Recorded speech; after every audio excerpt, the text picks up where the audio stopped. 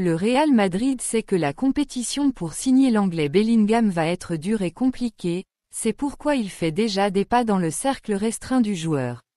Le Borussia Dortmund est déjà conscient de l'intention du Real Madrid de signer le joueur qui a été l'une des sensations de la saison, ratifié par ce qu'il a fait à la Coupe du Monde. Le Real Madrid sait déjà que le club allemand autoriserait le milieu de terrain à partir le 30 juin pour la bonne offre et le Borussia Dortmund a donné aux joueurs la possibilité de choisir. La position du Borussia Dortmund sur Bellingham. Aki Watke, président du Borussia Dortmund, a déclaré publiquement qu'il ne faisait pas obstacle à Bellingham et l'Anglais a décidé que son séjour au club qu'il avait signé alors qu'il n'avait que 16 ans était terminé. Le Real Madrid sonde Bellingham depuis un an.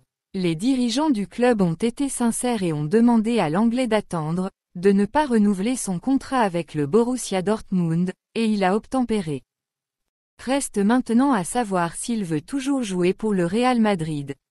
Les directeurs de Los Blancos reçoivent constamment des nouvelles dans ce sens, mais ils savent qu'il y a de grands clubs qui attendent de faire leur propre pas. L'équipe de Jürgen Klopp semble avoir changé d'objectif pour le milieu de terrain. Il semble que ce soit Bellingham lui-même qui ait exprimé son désir de porter le maillot blanc et de suspendre son retour en Angleterre, l'attention de Liverpool se tournant désormais vers Enzo Fernandez.